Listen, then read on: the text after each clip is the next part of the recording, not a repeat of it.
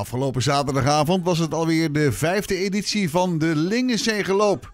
De avond zou helemaal vol zijn gepland met activiteiten.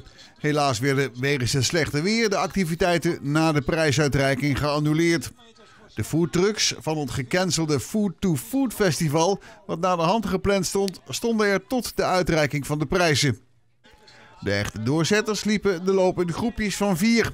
Er waren twee verschillende prijzen te winnen. Eén voor de snelste groep en de prijs waar het uiteindelijk om ging voor het snelste individu.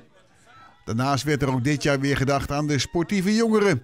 De Kids Run ging ondanks het ongelukkige weer gewoon door.